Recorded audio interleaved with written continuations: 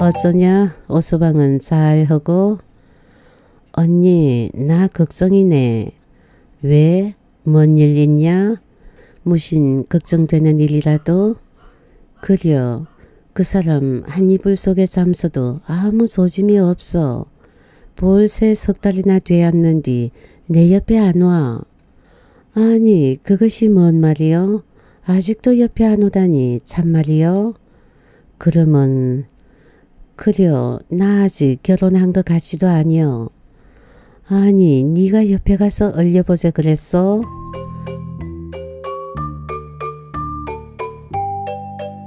자네가 알다시피 나 잠자리도 시원찮여. 결혼 3년이 넘었어도 아직 제대로 잠자리 한번 치르지 못했네. 그런데 어머니는 손잡보고 싶다고 혀쌌고 나 어쩌면 좋아? 친구가 좀 도와주소. 시네리 박종식 오늘이 사흘째랴 본동댁이 콩나물을 건성건성 씻어 건져내며 서정댁 난산 이야기를 걱정스런 표정으로 말했다. 그려 너무 오래 고상한 것 같여. 서른 살을 훌쩍 넘긴 나이에 처대를 가졌은께 그렇게 힘들제?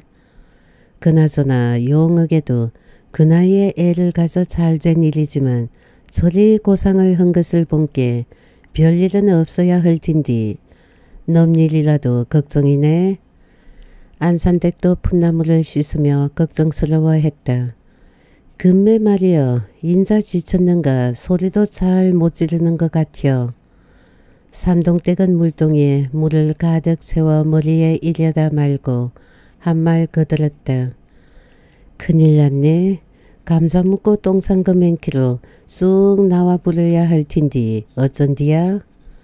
물동이를 내려놓고 두레박질을 하려고 두레박근을 살리며 이야기에 끼어드는 옥천댁의 낯빛은 잠이 들깬 듯 얼굴이 부석부석해 보였다. 공동 우물에서 마을 아낙들이 서정댁 남순의 산통을 걱정스러워하면서도 일면 흥미로운 이야기거리로 저마다 한마디씩 거들었다. 시방도 그러고 있단가? 그 집 큰일 났네. 애 터지게 기다리다 생겼은께 순산을 혀야 할 텐디. 밤잠도 못 잤을 거 아니여? 물동이를 옆구리에 끼고 또아리는 머리에 인채 그 끈을 입에 물고 샘에 나오는 남동댁의 말투와 표정은 남달랐다. 여태까지 먼지 터다가 인자사 나오는겨? 안산댁이 농을 섞어가며 남동댁에게 말을 건넸다. 그나저나 서정댁이 큰일 났네. 어떻게 흔디야? 우리 집은 저렇게 산통이 오래가면 애기 아버지 중우를 깔고 나앉게 거짓말같이 쑥 나와버리는디. 남동댁은 묻는 말에는 들은 신용도 안 하고 엉뚱한 말로 혼자 구시렁거렸다. 그것이 뭔 말이다요? 아버지 중우를 넣어주면 애기가 쉬 나뿐다고? 본동댁이 눈을 지켜뜨고 남동댁을 바라보며 말했다. 아니요, 나 혼자 하는 말이요. 남동댁은 움찔하며 놀란 표정이었다. 그런께 집이는 우민이 아버지 남동양반 중우를 깔고 애기를 낳았다 이 말이지. 그 집 삼시랑은 별시럽기도 하구먼.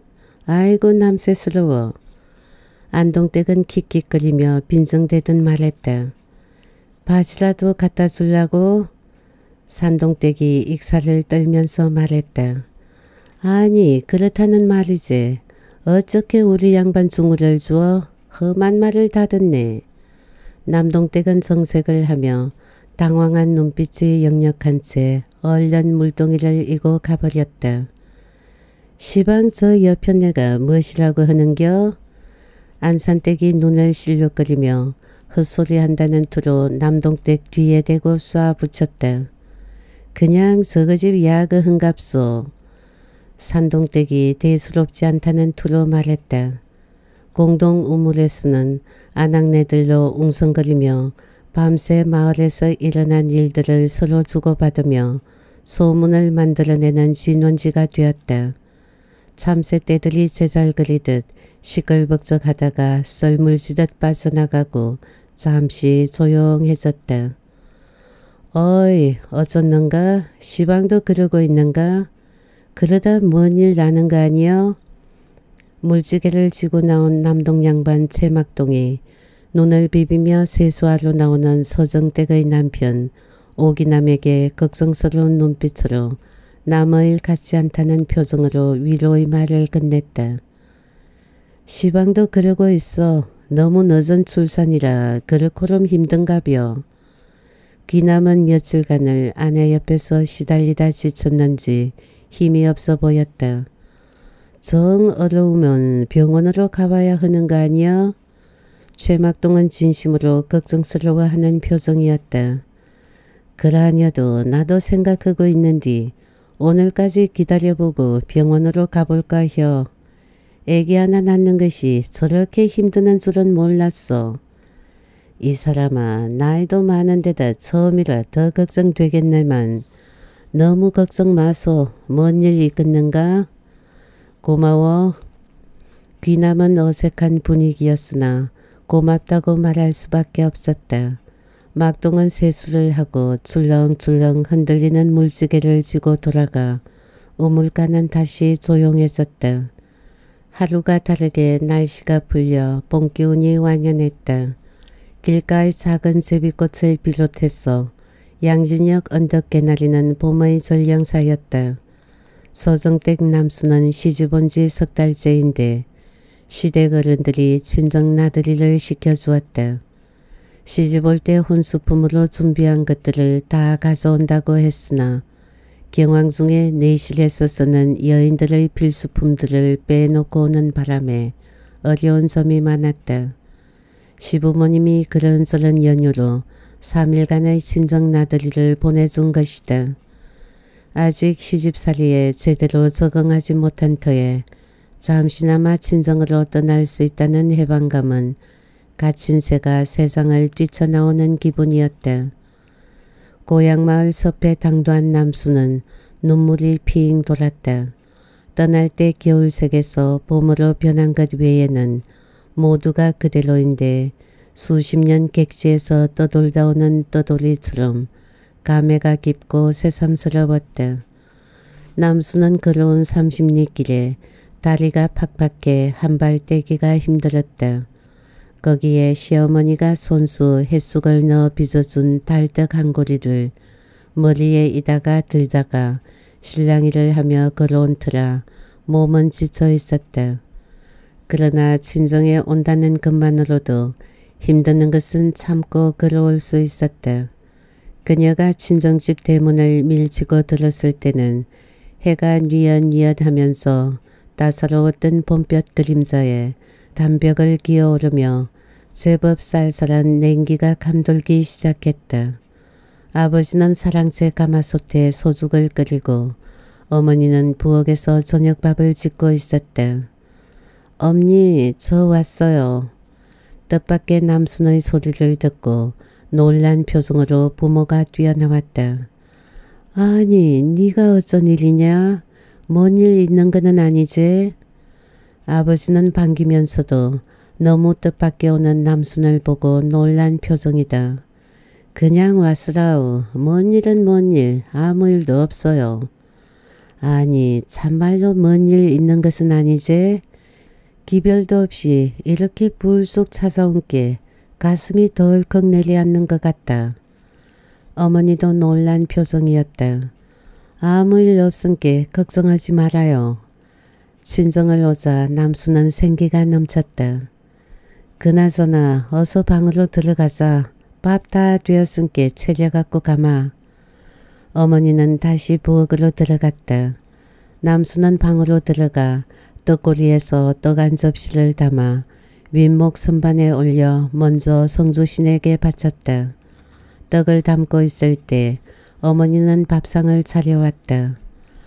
뭔 떡을 다 해왔냐. 그냥 오면 어쩌간디. 너가 시험에 번거로웠겠는디? 그려 나도 생각하지 못했는디 시험니가 손수 해숙을 캐다가 만들어 주었어. 아이고 이 머리 묵은 떡을 만들어 주다니 너그 시엄니 참말로 자상하고 예의범절이 반듯하신 양반이구나. 그려 시엄니는 참 잘해준 게 편하네. 남순은 시어머니 칭찬을 하면서도 그 말 속에 무엇인가 있는 것 같았다. 그러면 오서방은 잘 못하냐? 아니 그런 것은 아니지만 남순은 말끝을 흐렸다. 손을 씻고 들어온 아버지께서 어서 앉거라 밥 먹자 하면서 아랫목 밥상머리에 앉았다. 남순은 아버지에게 절을 올리려고 했다. 아버지 절 받으셔야죠. 아니다 그냥 앉거라. 해가 저 밤인디 뭔 절을 한다냐? 하면서 남순을 그냥 앉도록 했다. 어머니도 만류하는 바람에 절을 받으셔야 하는디 하면서 남순은 못 이기는 척 하고 앉았다. 그녀는 이남 삼녀 중에서 막내딸이었다. 언니들은 이미 결혼을 했고 그녀가 마지막으로 지난 겨울에 결혼을 했던 것이다. 언니 중 바로 손이 언니 이수는 한마을로 결혼을 했다. 그 언니가 남순이 왔다는 소식을 듣고 저녁 땅거미가 들 무렵 찾아왔다. 아니 어찌 이렇게 소리도 없이 왔냐? 그냥 엄니랑 언니 보고 싶어 왔지? 시엄니가 얼마 되지도 않은 새 미너리를 그냥 보내주던 그려 가라고 흔께 왔지 뭐. 남수는 옥죄어 살다가 해방된 자유로운 마음에 말소리도 활기가 넘쳤다. 그녀는 부모님이랑 언니랑 오붓이 앉아 그동안 시댁에서 있었던 일이며 가슴에 묻어두었던 이야기를 털어놓으며 오랜만에 친정 가족들과 기쁨을 만끽했다. 오늘하고 피곤을 튄뒤 그만 건너가 쉬어라. 너 가고 난 뒤 방도 치우지 않고 두어서 심란할 것이여. 너랑 함께 가서 방도 좀 정리해라. 어머니가 이순에게 눈치를 주었다. 남순은 결혼 전에 거처했던 방으로 언니랑 들어왔다. 그동안 주인 없이 비워두어 냉기가 돌면서 쓸쓸했다. 그녀는 자기가 기거했던 시절의 최치를 느끼며 반가움인지 아쉬움인지 모를 묘한 감성에 울컥해졌다. 혼자 지내던 작은 방이었지만 자신만의 공간이었던 것을 생각하며 새삼 안옥하고 포근함을 느꼈다. 주섬주섬 대충 방을 치우고 그들은 이불 속에 발을 뻗어놓고 이야기꽃을 피웠다. 어쩌냐 오서방은 잘하고 언니 나 걱정이네. 왜? 뭔 일 있냐? 무슨 걱정되는 일이라도? 그려 그 사람 한 이불 속에 잠서도 아무 소짐이 없어. 볼새 석 달이나 되었는디 내 옆에 안 와. 남수는 그동안 있었던 일을 거리낌 없이 언니에게 말해 주었다. 아니 그것이 뭔 말이요? 아직도 옆에 안 오다니 참말이요? 그러면 그려 나 아직 결혼한 것 같지도 아니여.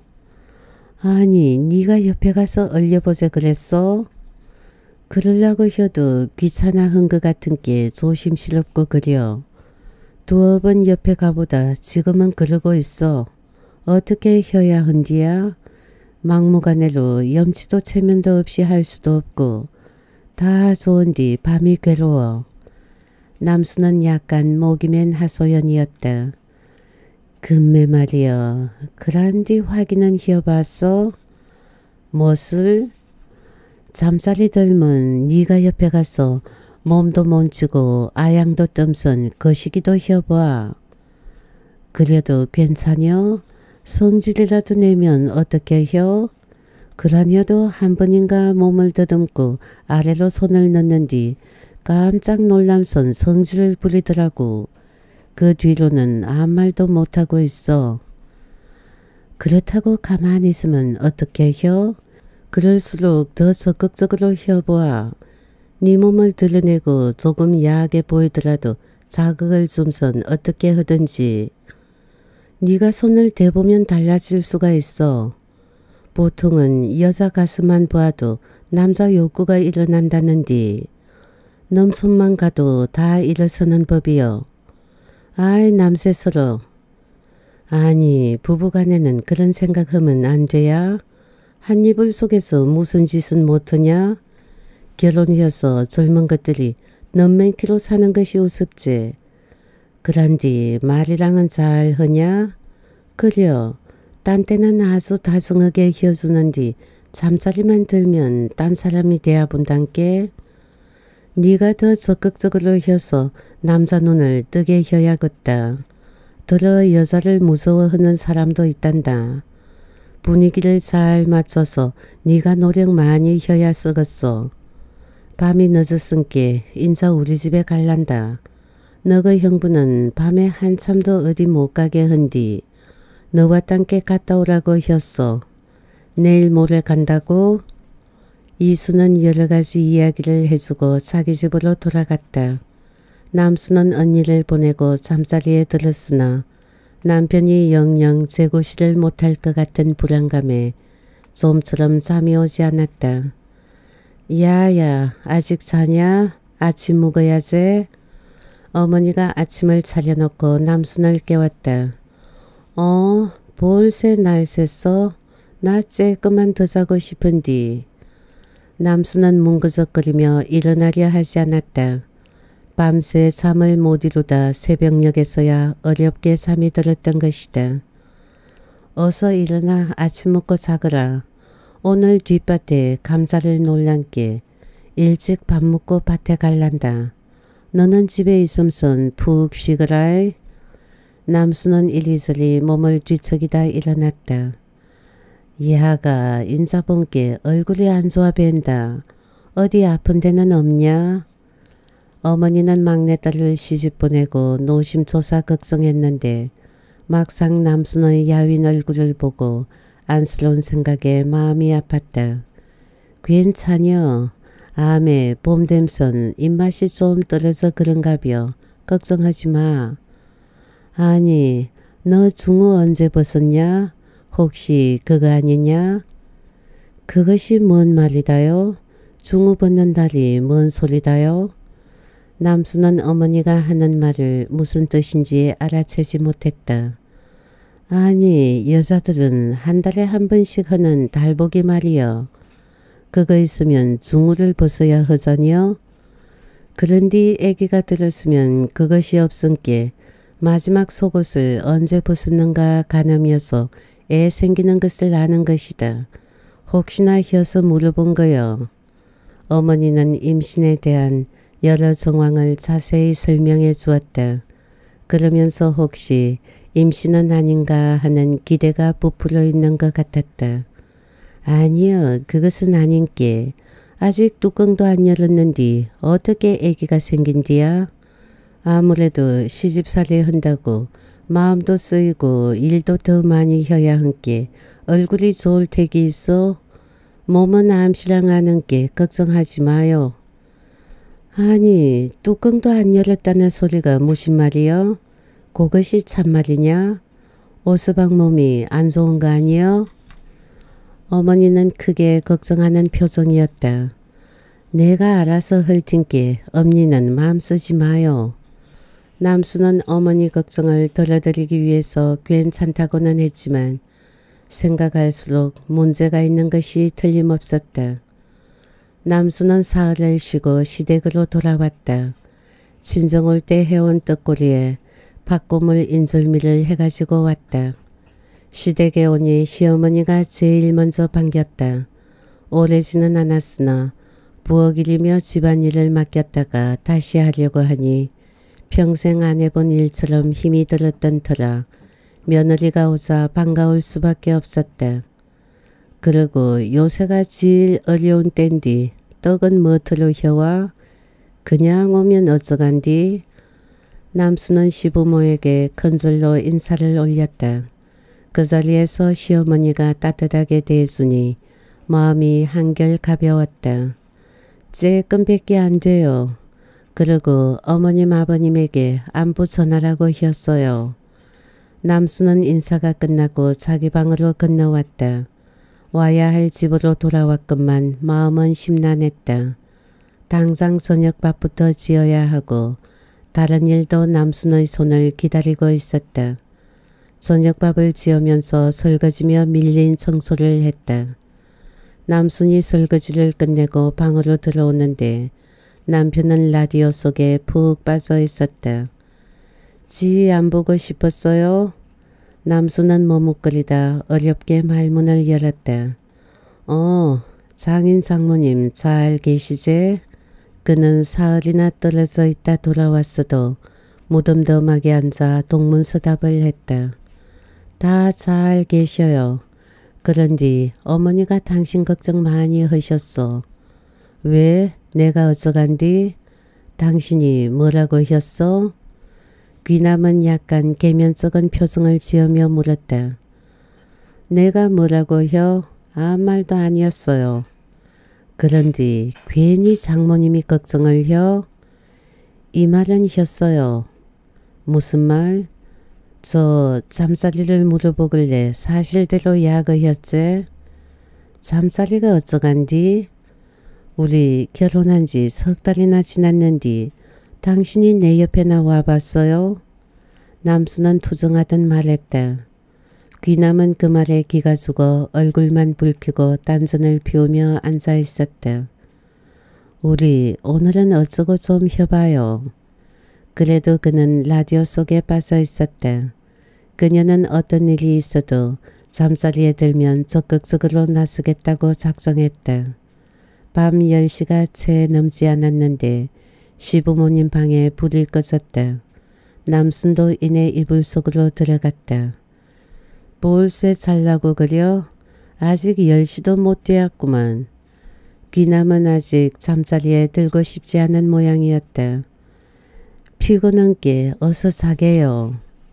그녀는 그의 바지가랑이를 끌어당겼다.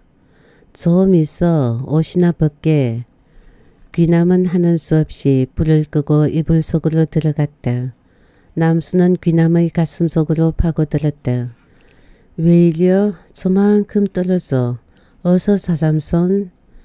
귀남은 그녀를 밀쳐내고 몸을 옆으로 돌아누웠다. 가만히 있어봐. 내가 이렇게 혀도 암시랑 아니여?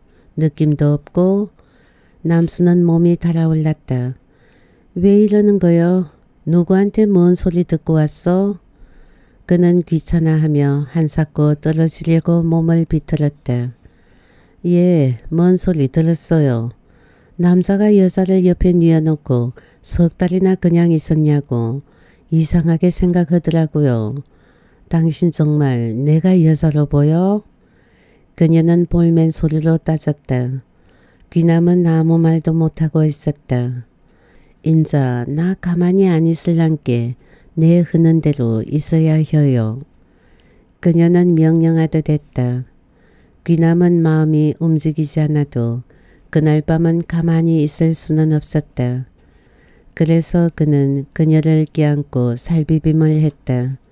마침내 지금까지 느껴보지 못한 감정이 솟구치면서 그 시기도 조금 달라지기 시작했다. 드디어 거사가 시작된 것이다. 그러나 이변은 일어나지 않았다. 문도 열어보지 못하고 힘이 빠지면서 그녀의 달아오른 몸을 식혀주지 못하고 내려와야 했다. 참으로 비참했다. 이것이 운명인가 팔자인가 아무리 노력해도 소용없는 일이었다. 귀남은 죄책감에 긴 한숨을 내쉬었다. 그녀는 실망이 컸지만 남편을 먼저 이해해 주어야 할 것 같았다. 자신의 불만보다 남편의 좌절하는 모습이 안쓰러워 그냥 있을 수가 없었다. 여보 너무 상심하지 말아요. 나 참을 수 있어. 당신 몸이 조금 더 좋아지면 괜찮을 거요. 우리 함께 노력하면서 마음만 변하지 말고 서로 이해하면서 살게요. 그녀는 그의 등을 다독이며 달래주었다. 그는 아내가 자기를 이해하고 달래주는 것을 고마워하면서도 그럴수록 그녀를 똑바로 바라보는 것조차 민망했다. 그래서 더욱 그녀를 헌신적으로 떠받들고 사랑했다. 그것만이 그가 할 수 있는 최선의 도리라고 생각했다. 그들이 결혼한 지 3년이 지났다.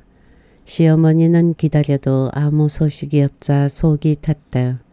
속사정이나 알아볼 요랑으로 며느리를 불러앉히고 심각한 표정으로 물었다. 아야, 아가, 너희들 아무 소식 없냐?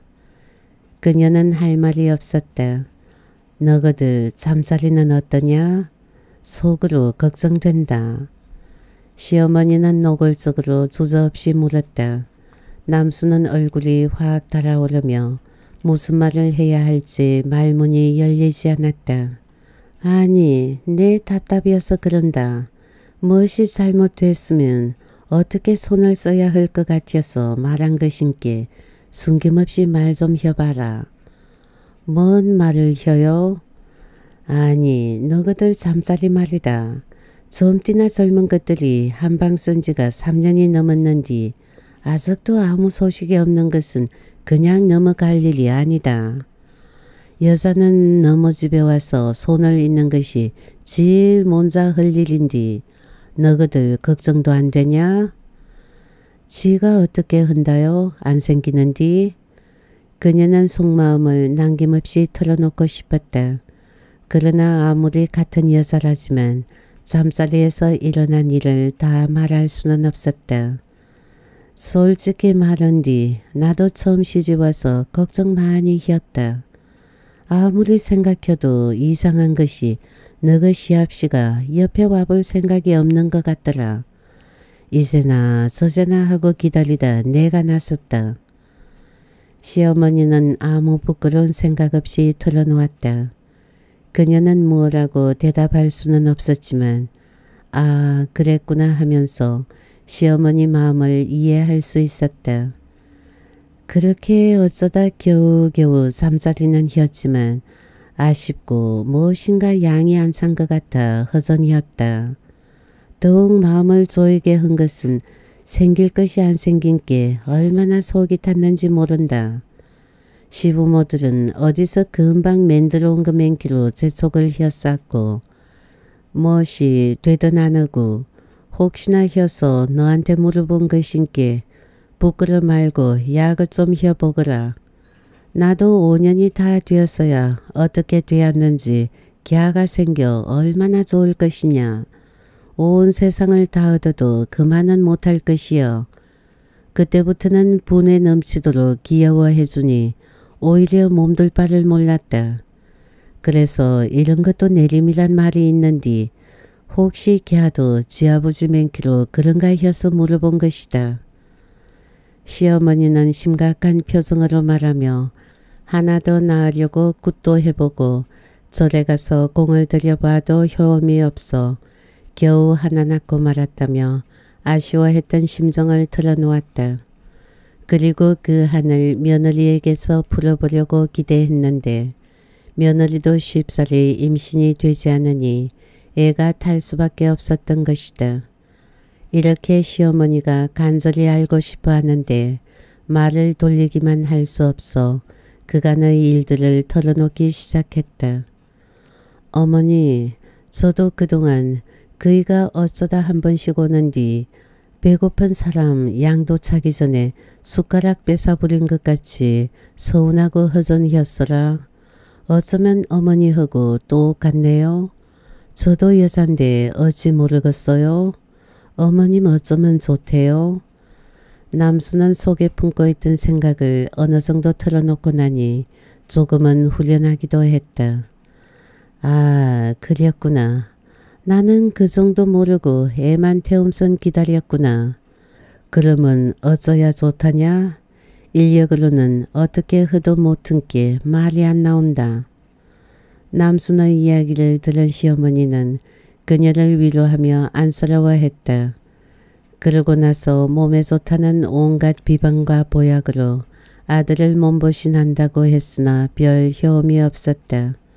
남순은 시어머니에게 들은 이야기를 남편에게 해주었다.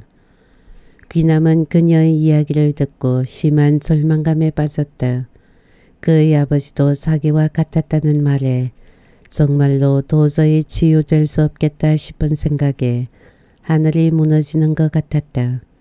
또한 부모님이 그렇게 절박한 심정으로 손자를 기다리고 있으리라 생각하지도 못했다. 그러나 아무리 생각해도 뾰족한 방법이 없었다. 죽고 싶은 심정이었다. 그렇게 고민 고민하다가 머리를 번뜩 스치고 지나가는 한 생각이 떠올랐다. 자기로서는 도저히 어찌할 수 없으니 다른 사람의 도움을 받아야겠다는 것이다. 그러나 그런 일이 생각으로서는 가능할지 모르지만 현실에서는 있을 수 있는 일인가. 설령 부모님은 모르게 한다지만 아내를 모르게 할 수는 없는 일이다. 생각이 여기에 이르자 귀남은 다시 절망감에 빠졌다. 좋은 해결 방법이라고 생각했던 것이 오히려 그를 더욱 괴롭혔다. 귀남은 삶의 의욕까지 잃어가며 자신의 존재 가치를 부정하기 시작했다. 이 세상을 살아갈 아무 가치를 찾지 못했다. 귀남이 절망에서 헤어나지 못하고 방황하는 것을 눈치챈 남수는 그를 따뜻한 사랑으로 감싸주었다.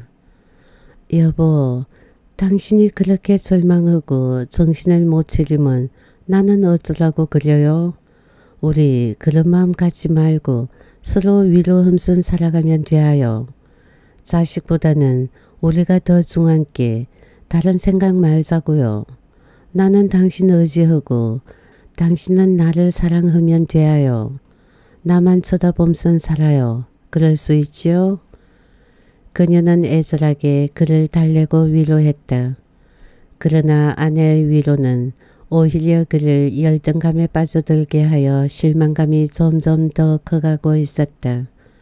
서로 위로나 하고 괴로움을 참아내는 것은 현실 도피의 한 수단일 뿐 언젠가는 꼴맡아질 종기라고 생각되었다. 미봉책으로 하루하루를 넘기고 살아갈 수 없을 것 같았다. 이 괴로움에서 벗어나기 위해서는 무엇인가를 과감하게 저지르지 않으면 안 될 것만 같았다. 귀남은 깊은 고민에 빠져들었다.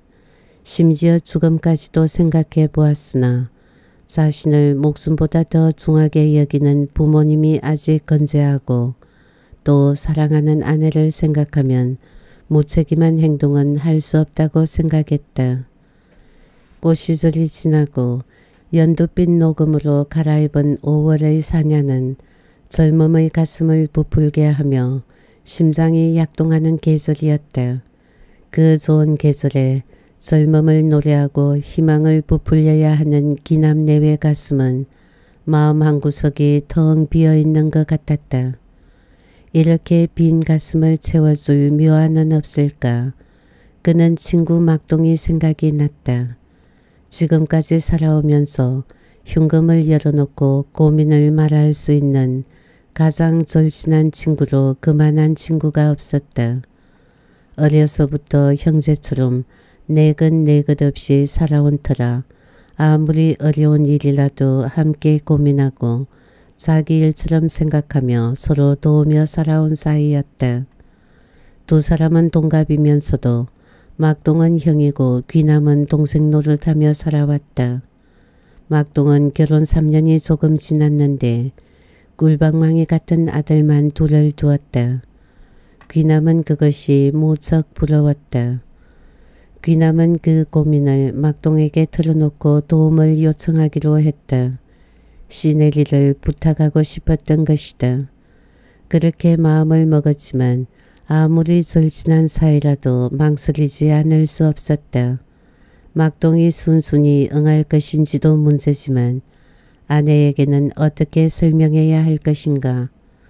또 설령 두 사람이 서로 응해서 일이 성사된다고 하더라도 그 뒤에 일어날 일을 상상해보면 쉽게 용납되는 일이 아니었다. 아무리 생각해도 너무 지나친 것 같았다. 그러나 막동의 도움 말고는 다른 방법을 찾을 수가 없을 것 같았다.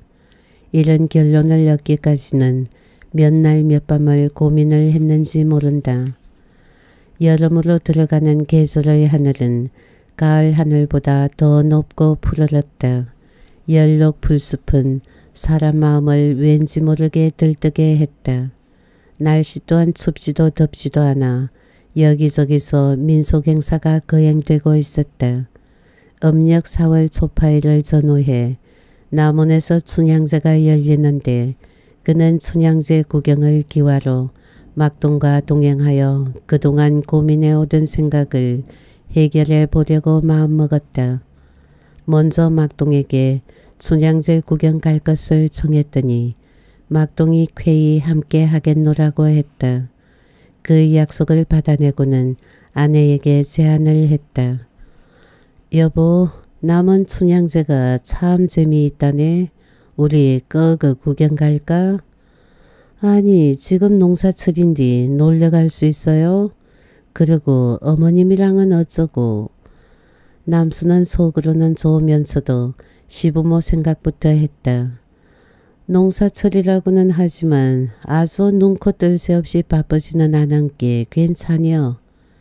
그리고 식구 모다 함께 가면 좋지만 비용도 그렇고 집을 비워두고 갈 수는 없잖여.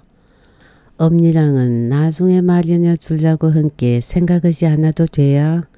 우리 만난 지가 3년이 넘었는디 어디 한번 놀러 가봤는가? 이참에 한번 가자. 저야 좋지요. 남수는 무척 좋아하는 표정이었다. 그러나 귀남은 함께 좋아하는 듯 했으나 가슴 한복판에는 그늘이 드리워져 있었다. 남자가 남자답지 못해서 이렇게까지 꾸며야 하는 것이 너무나 서글펐다. 이슬 머금은 아침의 사냐는 수채화보다 맑고 싱그러웠다.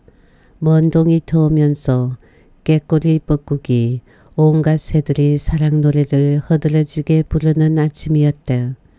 귀남과 남수는 처음 함께하는 여행이어서 더욱 가슴 설레는 날이었다. 그들이 남은행 버스를 타는데 막동은 이미 나와서 차를 타고 있었다.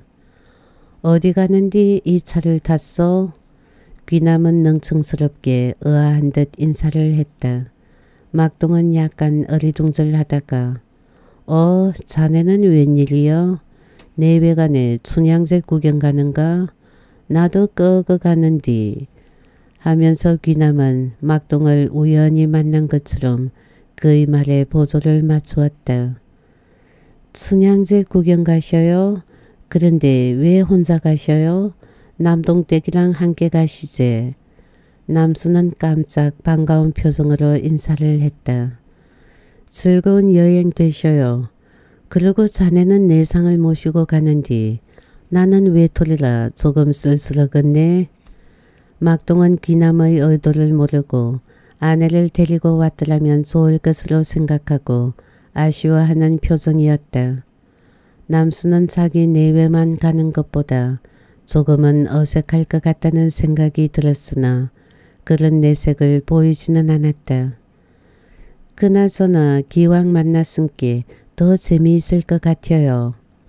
남수는 속마음과는 다르게 반가워하는 어감으로 말했다. 버스는 11시가 조금 넘어 남원시의 버스 터미널에 도착했다. 전국에서 춘향제 구경을 온 사람들로 터미널에서부터 북적댔다. 특히 남원역에서 광안루까지 이르는 길은 사또 행차며 가장 행렬, 어장대와 악대 행렬 등 많은 행렬을 손뼉을 치며 구경하는 관중들로 더욱 붐볐다. 그들은 광안루로 갔다. 광안루 경내 역시 많은 사람들로 발디딜 틈이 없었다. 여기저기 무대에서는 판소리 경연, 춘향이 뽑기 미인대회, 그네뛰기 등 민속놀이가 다양하게 펼쳐지고 있었다. 그들은 이곳저곳을 구경하느라고 시간 가는 것도 잊고 있었다. 귀남이 무심결에 시계를 보더니 벌새 시간이 이렇고 됐네. 12시 반이 넘었어. 우리 점심이나 먹고 허세. 하면서 점심 먹을 것을 청했다. 벌새 그렇게 됐는가? 금강산도 식후경이라고 묵을 것은 묵고 혀야지. 막동이 기다렸다는 듯 시계를 들여다보며 맞장구를 쳤다. 뭐 묵을까? 당신 묵고 산 거 있어? 전 몰라요. 그냥 따라갈게요. 친구는 뭐 좋아해? 아무거나 좋은디 제수씨 좋아한 거 묵세. 저거 요천수 둔치에 가면 난장 가게들이 많을 거요. 거기 가서 돌아보는 것이 어때요? 막동이 광안로 남쪽 문으로 나가며 말했다. 그려 그것이 좋겠는디? 하면서 귀남도 남순 손을 잡고 막동의 뒤를 따랐다. 요천수 둔치에는 하얀 천막 가게들이 줄지어 양쪽으로 늘어서서 손님 오기를 바라고 있었다. 음식점뿐 아니라 토산품이며 공산품, 해산물은 물론 화장품 같은 시장에 나왔던 물산들이 모두 진열되어 있었다. 그들은 난장 가게를 구경하며 먹을 만한 음식점을 찾았다. 중앙 통로는 사람들로 붐벼 밀고 밀리며 오고 갔다. 남은 추어탕 원조라고 간판을 내걸린 가게 앞에 유독 많은 사람들이 줄을 지어 기다리고 있었다. 그들도 추어탕을 먹을 요량으로 기다리는 줄 끝에 섰다. 종업원인지 자원봉사자인지 여러 사람이 분주하게 손님을 치르기 때문에 음식은 생각보다 빨리 나왔다. 시장하기도 했지만 역시 남은 추어탕은 별미였다. 그들은 추어탕을 맛있게 먹고 다시 광안로 경내로 들어가 춘향이 뽑기 미인 대회를 구경했다. 여느 미인 대회와 달리 한복을 곱게 차려입은 아리따운 아가씨들이 전통미를 한껏 뽐내는 광경에 모두들 어리 빠져 있었다. 젊은 아가씨들이 말솜씨도 달변이어서 관중들을 탐복시켰다. 미인 대회를 구경하다가 국악 경연장으로 갔다. 전국에서 모인 내로라 하는 명창들의 열띤 경연이기도 하지만 본래 남원이 국악의 고장이라는 말에 걸맞게 수준 높은 청중들의 주임새와 호응으로 출연자들은 더욱 신명나게 열창을 했다. 어느덧 교룡산에 해가 걸치면서 설핏해지고 있었다. 그들은 광활루를 빠져나와 남원역 근처로 옮겨 숙소를 찾았다. 남원역에서 전주 방면으로 조금 떨어진 곳에 춘향여관이라는 간판이 보였다. 앞장선 귀남이 여관으로 들어갔다. 숙박까지 생각하지 못한 남수는 자고 갈라고요? 하고 묻고는 의외라는 표정을 지었다. 그럼 모처럼 나왔은께 내일까지 구경해야지. 내일이 춘향제 절정이요. 그래서 일정을 그렇게 잡았어. 그러면서 귀남이 앞서 방을 잡으려고 프런트로 들어갔는데 중년 여인이 프런트 안내창을 빠끔히 열고 얼굴을 내밀었다. 방 있어요?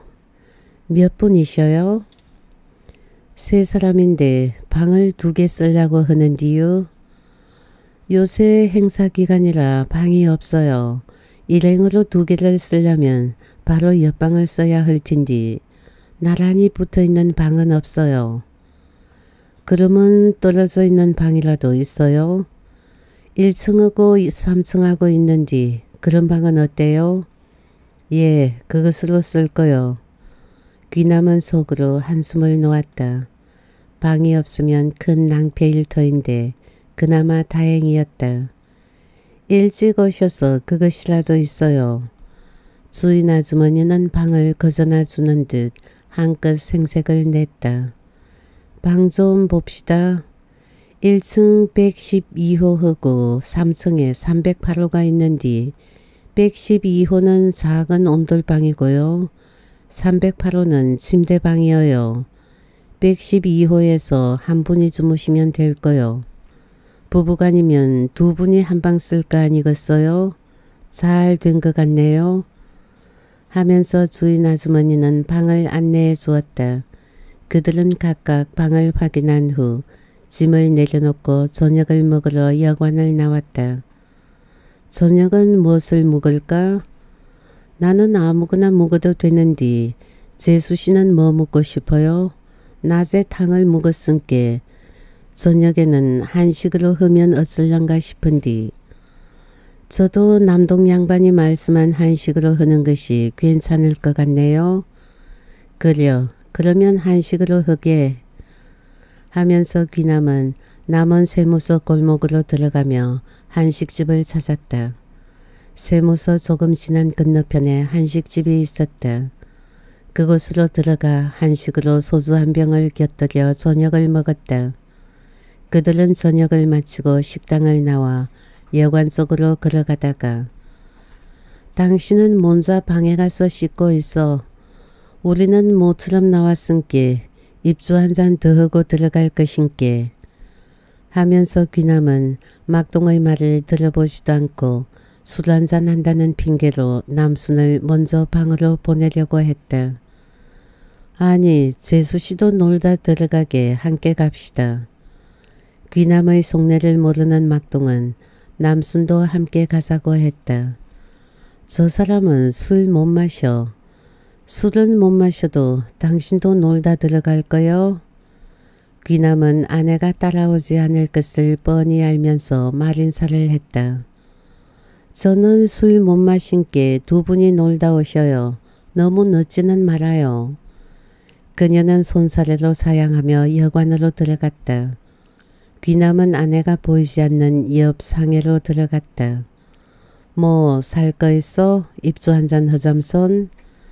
막동은 상회로 들어가는 귀남의 뒤를 따라 들어가며 물었다.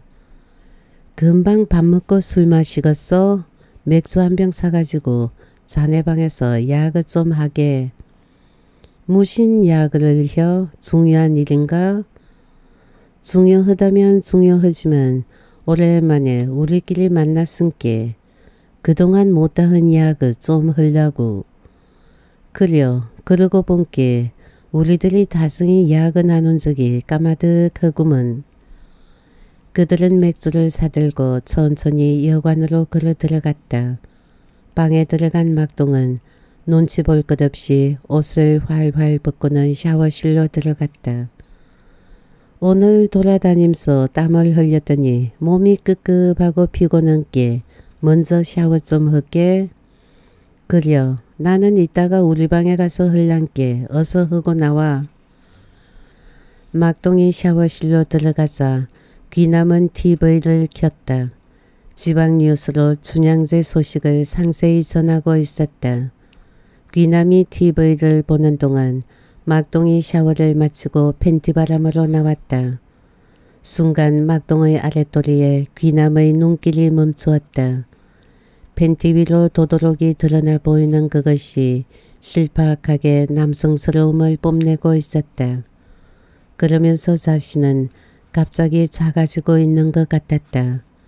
어려서는 맨몸으로 서로 살비비며 지내왔지만 울근불근한 막동의 근육이 새삼 그의 눈길을 사로잡았다. 귀남은 부러움에 찬 눈을 막동에게서 떼지 못했다. 자네는 원래 몸이 좋지만 더 좋아진 것 같은디 뭘 처음 본 사람 맹기 그려 내가 애초에 몸이 괜찮았지. 실상은 결혼한 뒤로 좀 좋아진 것 같기도 하지만 막동은 근육에 힘을 주며 은근히 몸매를 자랑했다. 그려 자네 몸이 알아주지. 잠자리도 잘 하세. 안 식구가 좋아하겠다. 귀남은 조금 진한 말로 들어갔다. 에이 이 사람 뭔 그런 소리를 다혀? 막동은 좀 개면적인 표정을 지었다. 요새는 농사일로 몸이 고될 텐디 그래도 괜찮여? 상관없어. 그나저나 안거 시원하게 맥주 한 잔 흑게 귀남은 거품이 넘칠까봐 조심스럽게 종이컵에 맥주를 따랐다. 그냥 어서 주어 맥주는 거품 마신게. 막동은 목이 클클한 참이라 잔을 받아 단숨에 쭉 마시고 손으로 입가의 거품을 닦았다. 어이 친구 나 친구한테 기니 부탁할 말이 있는디 귀남은 술 마실 생각은 하지 않고 갑자기 진지한 표정으로 말했다. 뭔 말인디 갑자기 그렇게 심각혀? 막동은 귀남의 심각한 표정을 보면서도 대수롭지 않게 생각하는 것 같았다. 귀남은 한참 동안 입을 열지 못했다. 대체 뭔 일인디? 내가 들어줄 수 있는 일이요? 내가 할 수 있는 일이면 뭔 일인들 못하겠는가? 걱정 말고 말여보아. 그렇게 말여준 게 고맙네. 그래도 귀남은 선뜻 말문이 열리지 않았다. 아이 답답혀. 얼마나 큰일인데 요렇게 꾸물거려? 어이 친구. 친구가 알다시피 나는 어려서부터 몸이 약했잖여. 그려. 그것은 내가 알지. 그런디 몸이 약해서 어쩌다는 거요? 집안에 무신 힘쓸 일 있는가? 아니 꼭 힘으로만 하는 일이 아니여. 자네가 알다시피 나 잠자리도 시원찮여. 결혼 3년이 넘었어도 아직 제대로 잠자리 한번 치르지 못했네. 그런디 어머니는 손자보고 싶다고 혔었고 나 어쩌면 좋아? 친구가 좀 도와주소. 의기소침해진 귀남은 머리를 떨구고 애절하게 말했다. 자네가 몸 약한 줄은 알지만 그것까지 그런가? 친구 입장 알만하네. 하지만 그것은 다른 사람이 어떻게 못하는 거 아니여? 보약이라도 먹어보고 그러지 그랬어. 돈이 없어? 내가 보약 한 재 지어줄까? 고마운 말이네만 이것저것 다 해봤어. 그러나 한번 타고난 것은 어쩔 수 없는가벼. 그래서 말인께 아 이 사람아 다른 것은 몰라도 그런 것을 어떻게 도와준단가 도와줄 것이 따로 있지. 그러면서도 막동은 야릇한 표정을 지었다. 내가 오늘 여거 함께 오자고 한 것은 오랜 생각 끝에 마음 정한 것이었어. 먼저 이런 귀띔이라도 혔어야 하는디 미리 말하면 안 올게비 인자사 말하는 것이여. 미안하네. 그러나 오직 혔으면 이런 짓을 생각했겠는가? 내가 흐란 대로 혀줘. 갈수록 귀남은 농담이 아닌 진담으로 진진하게 부탁했다. 막동으로서도 웃어넘길 일만은 아닌 것 같기도 하지만 너무 어처구니 없는 일이라고 생각되었다. 이 사람아 어떻게 눈 번원이 뜨고 그런 짓을 한단가? 아무리 친한 친구 사이라도 천벌받을 일이지. 행여 농담이라도 그런 말 하는 거 아니여. 막동은 펄쩍 뛰었다. 아니여 친구야. 내 사정 좀 들어줘. 어느 미친놈이 자기 마누라 남에게 내주고 싶겠는가? 그런디 나는 도저히 가망이 없고 부모님은 성화를 대고 내가 어떻게 해야 하겠는가? 자네는 둘도 없는 친구 아닌가? 어려서부터 함께 살아서 그런지 자네가 진일로 믿을 것 같여. 그래서 이런 일을 생각한 것인께 그냥 농담으로 넘기지 말고 내 말대로 해줘. 기남의 말은 너무도 진지하고 가슴속 깊은 곳에서 우러나온 진심 어린 말이었다. 아니 자네도 없는 방을 내가 불쑥 들어가면 자네 안 식구가 어떻게 하겠어? 놀래지 않겠는가? 만약에 소동이라도 일어나면 큰일 아니여? 난 못할 것 같네. 내가 생각해 놓은 것이 있은께 나 흐란 대로만 혀. 어떻게 흐란 말이요? 이따가 11시쯤 되면 우리 방 앞으로 와서 조용히 신호를 혀. 지나가다 나는 소리 맨 키로 우리 방문을 툭 하고 한 번만 소리를 내면 내가 변소 가는 척 하고 나갈게. 그때 자네는 들어오면 돼야. 친구가 그렇게 절박한 줄은 몰랐네. 정 자네가 원한다면 한번 해볼까? 막둥은 이건 아닌데 이건 아닌데 하면서 피할 수 있으면 피하고 싶은 생각은 물론 벗어 던질 수 없는 무거운 짐을 짊어지는 것만 같았다. 나 올라갈게. 마음 단단히 준비하고 있어. 그 다음은 친구가 알아서 혀. 하면서 귀남은 모든 것을 내려놓은 듯 가벼운 마음으로 마지막 잔을 단숨에 비우고 일었었다. 남수는 TV 연속극에 빠져 있었다. 뭔 야그가 그렇게 길어? 여태 술집에 있었어요? 어, 맥주 몇 병 사가지고 친구 방에서 마시며 야그였어. 여거 왔으면 나도 좀 불러주지 그랬어요. 나도 맥주 한 잔은 흐는디. 어, 그랬구나. 미차 생각 못했네. 한 병 사올까? 아니요. 나 술 못한 줄 알잖아요. 그냥 한번 혀본 소리여. 미안혀. 친구랑 중요한 이야기 하느라고 생각 못했어. 귀남은 자신이 미웠다. 아내의 부족함을 남편으로서 채워주지 못하는 것도 그랬고 세상에 있을 수 없는 일을 자청해서 저질러 놓고 태연하게 아내 앞에 앉아있는 자신이 너무도 무능하고 왜소하게 느꼈었다. 아무리 생각해도 못할 일을 한 것 같았다. 그러나 그동안 얼마나 괴로워하고 고심했는지 모른다. 하지만 이 마당에 한 번 작심한 것을 후회는 하지 않을 거라고 몇 번을 다짐했다. 여보, 오늘 밤 좀 이상한 일이 있어도 달리 생각하지 마. 뭔 일인데 그려?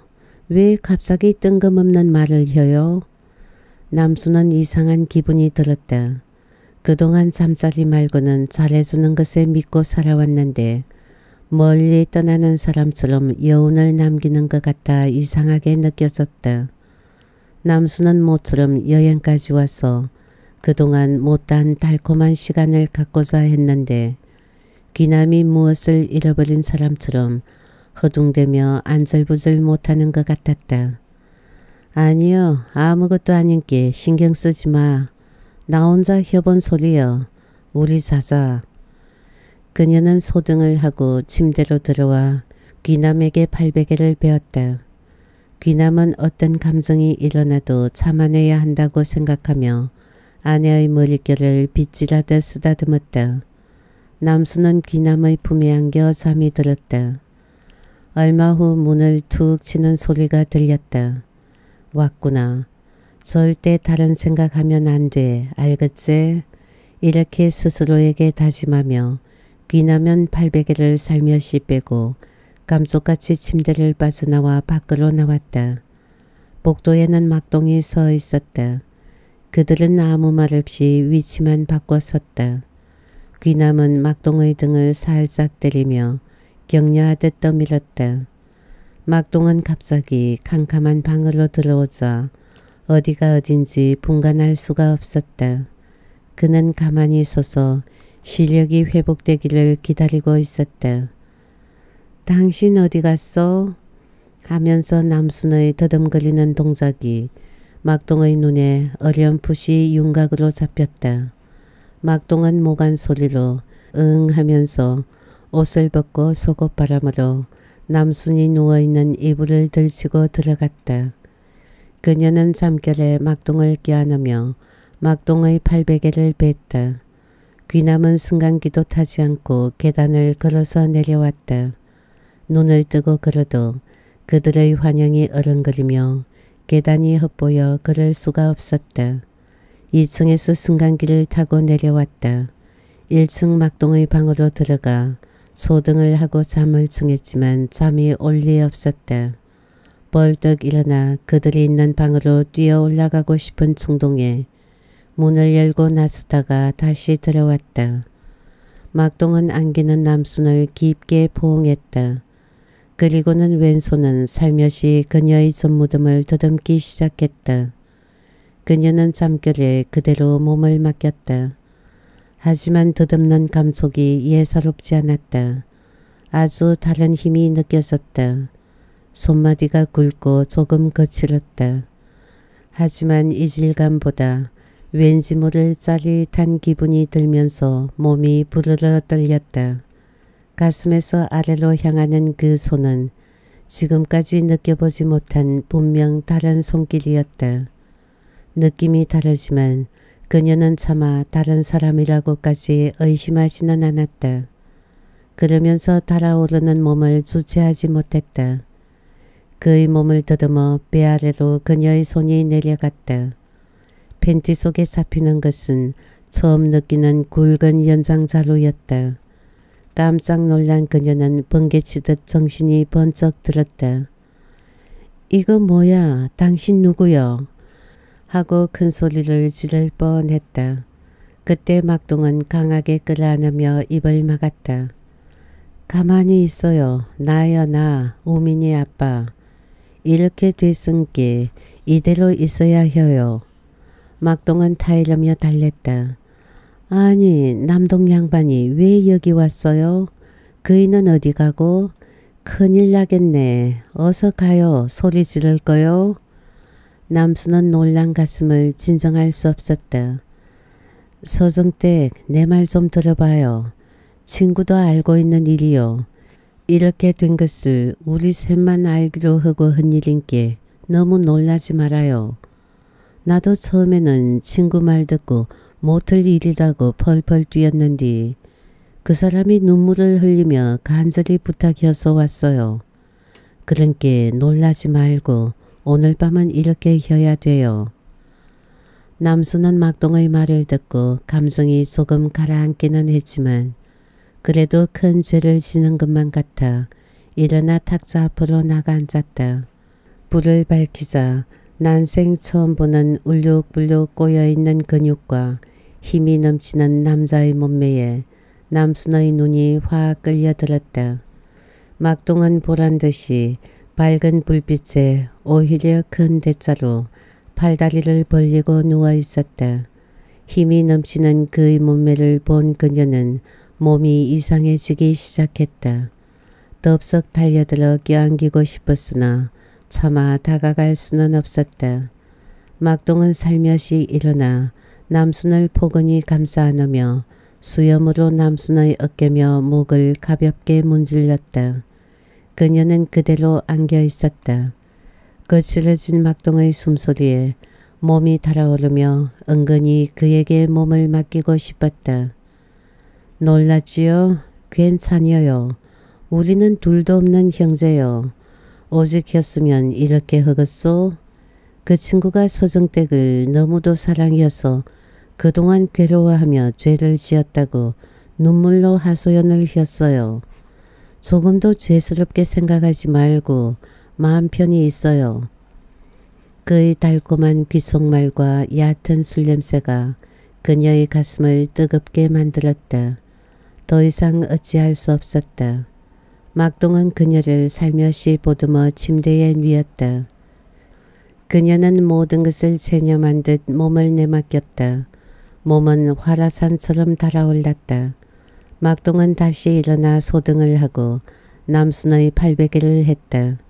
그녀의 머리의 향긋한 비누 냄새가 막동의 가슴에 불을 질렀다. 이튿날 아침 그들은 식사를 함께 하면서도 순양제 구경을 하면서도 집에 돌아오는 차 속에서도 별 말이 없었다. 남수는 집에 돌아왔어도 귀남의 얼굴을 바로 바라볼 수 없었다. 아내의 심정을 짐작하고 있는 귀남도 일부러 말을 걸지 않았다. 그날 밤 귀남은 아내를 안아주며 괜찮여 괜찮여 내가 그동안 못할 일 했으께 날 용서해 주어 하고 달래주었다. 한 여자를 데려다가 밥만 먹여준다고 할 일 다 했다고 할 수는 없었다. 귀남은 사랑하는 사람에게 원초적인 욕망조차 채워주지 못하는 무능과 무기력을 어쩔 수 없는 운명으로 받아들이고 이렇게라도 해주는 것이 그나마 그녀에 대한 최소한의 배려라고 생각했다. 귀남은 이 일을 더 이상 달리 생각하지 않기로 다짐했다. 남수는 남편의 포근한 위로와 이해심에 오히려 자신에 대한 경멸과 죄책감이 커져만 갔다. 어떻게 했으든지 그 자리를 피하지 못하고 결국 순간의 욕망에 빠졌던 자신이 아니었는가. 죄책감을 느끼면서도 한편으로 막동과의 전날 밤 환상이 머릿속에서 지워지지 않았다. 자신의 무능력을 인정하는 귀남은 사랑하는 아내를 자기로부터 그렇게나마 해방시켜주고 싶었다. 여보, 내 사랑하는 거 알제? 또 당신도 날 사랑하제? 그녀는 아무 말도 하지 않았다. 어이, 당신은 날 사랑하지 않았는 거요? 귀남은 그녀의 몸을 바싹 끌어안으며 다그치듯 물었다. 아, 왜 사랑을 아니어요? 사랑은 게 죄를 지은 것이지. 난 죽일려니요. 당신이 날 내쳐주어요.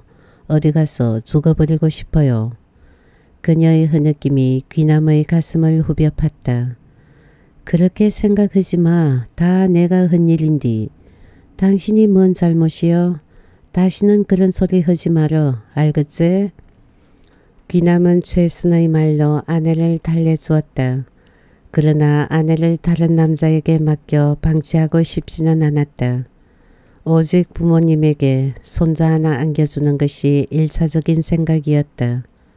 그래서 마음 같아서는 단 한 번의 일이 성사되었으면 했지만 인간사 마음먹은 대로 되는 일은 없었다. 어차피 한번 시작한 일 끝장을 봐야지. 임신이 될 때까지 알아서 막동을 만날 수 있도록 마음의 문을 열어놓고 그녀에게 날개를 달아주어야 하겠다고 마음먹었다. 그리고 막동에게도 똑같은 부탁을 할 생각이었다. 그들의 만남이 쉬운 일은 아니었다. 농촌의 작은 마을에서는 누가 방귀만 뀌어도 소문이 도는 터에 외간 남녀가 사람의 눈을 피해 만나기란 참으로 어려운 일이었다. 그들은 5일 장날을 이용해 장에 간다는 핑계로 서로 시간을 맞추어 나갔다. 남순이 오전 이런 시간에 나가면 막동은 점심때쯤에서 나가고 막동이 일찍 나가면 그녀는 늦게 나가 장마당에서 만나 남의 눈에 띄지 않도록 한적한 시장 뒷골목에서 만났다. 오래 기다렸어요. 늦게 나온 막동이 그녀에게 물었다. 아니요. 일찍 왔어도 장구경하고 살 것도 있어 돌아다니다 조금 전에 왔어요. 그, 그 알지요? 장미여관? 내가 먼저 갈게 뒤따라와요. 장미 여관까지는 시장에서 2킬로쯤 떨어진 곳에 있었다. 예, 제가 알아서 갈게요. 하면서 남수는 머뭇거리다 다시 시장으로 들어가 이곳저곳을 구경한 후 맥주 두 병과 간단한 마른 안주를 사가지고 천천히 장미 여관으로 향했다. 여관에 먼저 도착한 막동은 목욕을 하고 속옷바람으로 그녀를 기다리고 있었다. 8월 하순으로 처서가 지났지만 너더위는 삼복 그대로였다. 그녀는 땀을 흘리며 막동이 기다리고 있는 방으로 들어갔다. 어서 와요. 곧 바로 따라왔네. 더우니까 어서 씻어요. 하면서 부드러운 낯빛으로 그녀를 반겼다. 그녀는 말없이 사가지고 간 술과 안주를 탁자 옆에 내려놓고 욕실로 들어가 간단히 샤워를 했다. 땀을 흘리고 온 터라 무척 시원했다. 샤워를 끝내고 전신이 그대로 드러난 큰 거울 앞에서 물기를 닦았다. 거울에 비친 그녀의 몸매는 유부녀라고 하기엔 아직 탄력 있는 몸매가 이슬 머금은 싱싱한 풀잎 같은 젊은 여인이었다. 보통 여인 같으면 출산으로 뱃살이 트고 늘어졌을 텐데 그녀는 전혀 맵시 그대로였다. 어쩌다 이런 곳에 서 있는가. 거울 속 자신을 바라보며 그녀는 서글픈 생각이 들었다. 한 남자를 섬겨야 하는 여자가 외간 남자 품에 안겨야 하는 자신이 한없이 가여웠다. 막동은 음식을 차려놓고 기다리듯 침만 삼키며 앉아 있었다. 거기 맥주 한 병 가져왔어요. 한 잔 잡수시지 그래요? 그녀가 욕실에서 나오며 말했다. 아 그랬어요? 어서 와요. 함께 합시다. 마음속으로는 초조한 막동은 겉으로는 태연한 척 앉아 있었다. 얇은 속옷 속에 살짝 숨겨져 하늘 그리는 그녀의 몸매에 막동의 가슴이 뜨거워지기 시작했다. 그녀가 검정 비닐봉투를 그의 앞에 놓고 문갑에서 병따기를 찾아 맥주병을 열었다. 거품이 솟아오른 맥주를 유리컵에 따라 막동에게 권했다. 막동은 그녀에게서 병을 빼앗듯 받아 그녀의 잔에 맥주를 따라 채웠다. 막동이 술잔을 들고 건배하며 그녀의 술잔에 살짝 부딪힌 후 목마른 솜을 마시듯 단숨에 잔을 비워 마셨다. 한 잔 더 하세요. 남수는 그의 빈잔에 술을 따랐다. 막동은 거푸 남은 술을 마저 마셨다. 그나해진 술 기운으로 먼저 스스럼 없이 막동은 그녀를 끌어안았다. 그녀도 말없이 그의 품에 포근히 안겼다. 그가 그녀를 안은 채 침실로 가서 눕혔다. 숨을 내쉬면서 막동이 그녀의 얼굴을 내려다보는데 그녀는 어색한 분위기에 눈을 뜰 수 없었다. 말없이 여관을 나온 그들은 각자의 집으로 돌아왔다. 그들의 만남이 그날로서 석 달이 다 되었다. 그날이 마지막이었다. 그 후 그녀는 임신을 했다. 귀남은 그제야 아내를 되찾은 듯 안도의 한숨을 쉬었다. 시부모도 임신 사실을 알고 세상을 얻은 듯 좋아했다.